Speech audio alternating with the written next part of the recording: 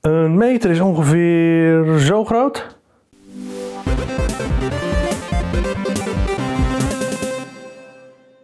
Het verhaal van de meter begint eigenlijk lang geleden.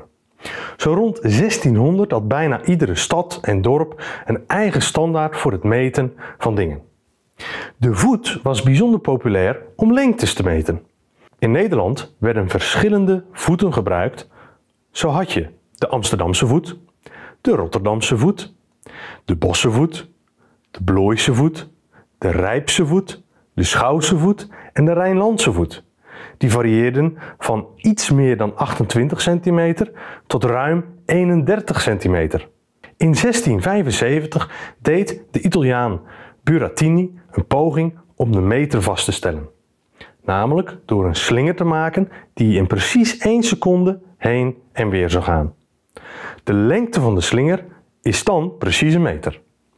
Helaas ging dit niet helemaal op, want afhankelijk van waar je bent op aarde of hoe hoog je boven de zeespiegel bent, moet de slinger langer of korter zijn om in precies 1 seconde heen en weer te gaan. In 1791 was de Franse Revolutie in volle gang. En in het kader van gelijkheid moest overal met dezelfde maat gemeten worden.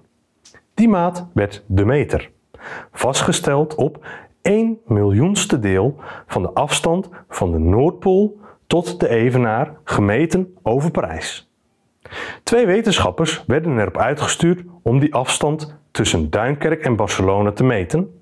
En met wat slimme wiskunde werd die afstand dan gebruikt voor de afstand tussen de Noordpool en de Evenaar. Het was de bedoeling dat ze zeven maanden bezig zouden zijn. Het werd zeven jaar. In 1799 werd in Frankrijk de meter van het archief gemaakt, uit platina, gebaseerd op de metingen. Helaas hadden ze er bij de metingen niet voldoende rekening mee gehouden dat de aarde wat platgedrukt wordt door de rotatie. Ondanks dit foutje werd dit de nieuwe standaard. In 1875 werd tijdens de Internationale Meterconventie het Internationale Bureau voor Maten en Gewichten opgericht. 17 landen ondertekenden een document waardoor ze allemaal dezelfde standaardmaten zouden gaan gebruiken.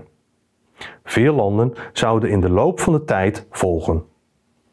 Een nieuwe standaardmeter werd uit platina en iridium gemaakt en goed opgeborgen in een kluis waar de temperatuur en de vochtigheid goed in de gaten wordt gehouden. Alle landen hebben een eigen kopie gekregen. De meter was goed gedefinieerd en door bijna alle landen in de wereld gebruikt. Goed genoeg dus waarvoor we het als mensen nodig hebben. Maar wat goed genoeg is voor de mensheid, is nog lang niet goed genoeg voor de wetenschap. Wetenschappers gingen op zoek naar een manier om de meter nog beter te definiëren, zonder een fysiek object om de meter aan af te lezen.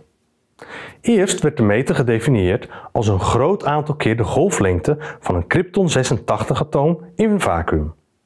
Maar nog later veranderde het in 1 299 miljoenste 792.458ste deel van een seconde dat de afstand van licht in een vacuüm aflegt.